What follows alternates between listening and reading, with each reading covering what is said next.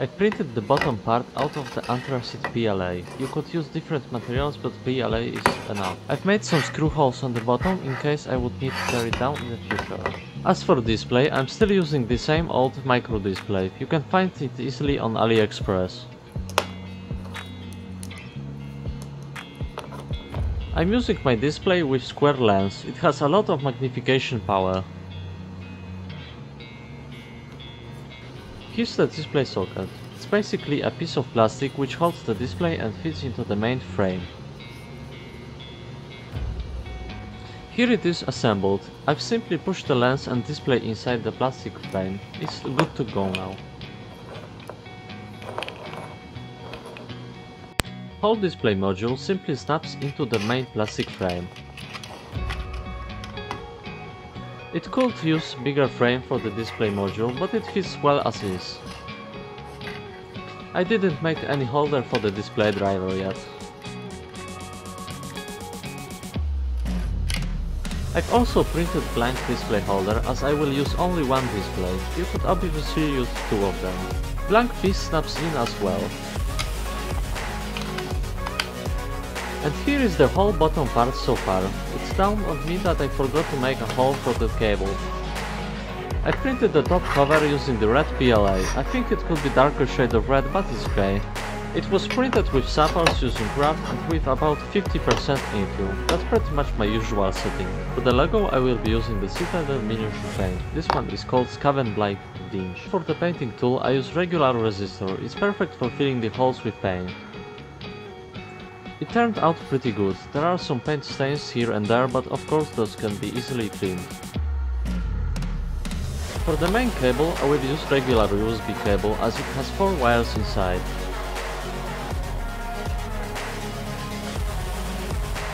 I've actually forgot to make a cable hole in my design, so now I need to make it in post. I've made a simple hole with my soldering iron. Don't use your main soldering iron for any plastic related tasks. I've stripped the cable down to the wires, I'll need only 3 of them so I've cut the fourth one. I've soldered the cable to my trimmed LCD controller and secured the connections with Kapton tape. I've put the controller inside my case and connected it to the display. And now I simply put on the top lid. This is how it looks so far. It's still missing side covers and face foam. This is the side cover, it features my Nintendo Life logo.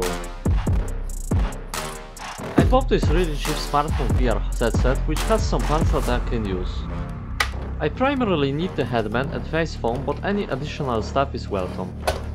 It was about 2 bucks so I don't really mind breaking anything. The face foam in its unit came with the plastic bracket, which holds the whole things in place.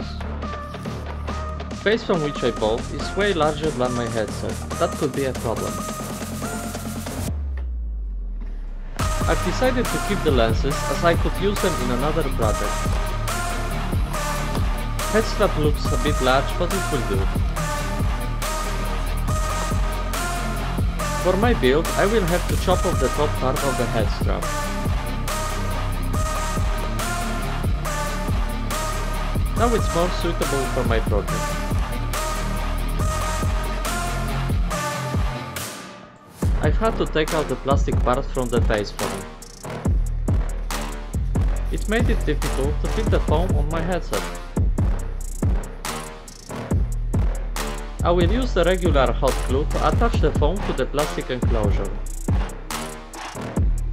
Top half fits perfectly, but the lower one needs to be squeezed a bit. It would be way easier to buy Fat Shark face foam, but I can find it anywhere at reasonable price. I've squeezed it a little bit and it more or less fits now.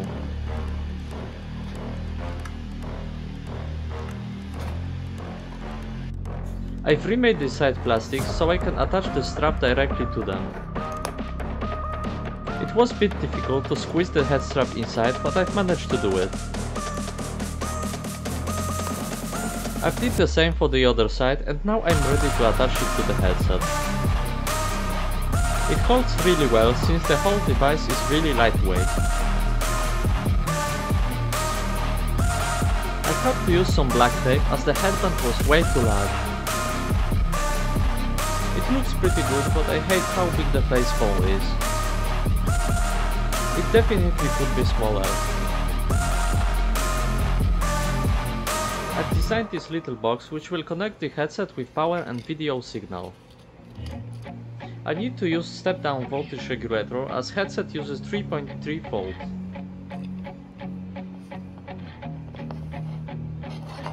The main idea is to slide the headset cable through the hole and solder everything inside the case. I've also made these pillars here which will hold the cable in place. It's a really tight fit, this will ensure that the cable won't be pulled out by accident. I found this yellow cable socket which will work perfectly with this project. I forced it inside the plastic enclosure hole, once again it's really tight fit. I will reuse my DC socket from the Wii Micro project. Looks really nice so far. And now I need to solder the DC wires to the voltage regulator. Now I have power supply to the voltage regulator. As always, I'm using M3 threaded inserts for the case. This time only 4 of them are needed. Now it's time to check if voltage regulator works properly. 5V is fine. And now I just put the lid on top. Looks good enough. Now it's time to see if it works. I've hooked it up to my Wii Mini.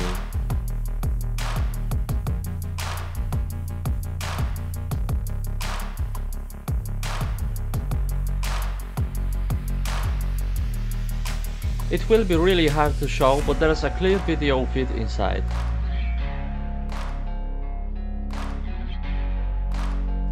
It looks perfect in person.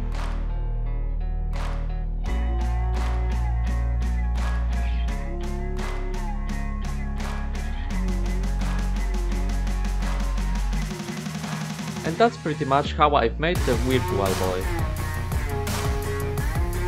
Thanks for watching everyone and see you soon.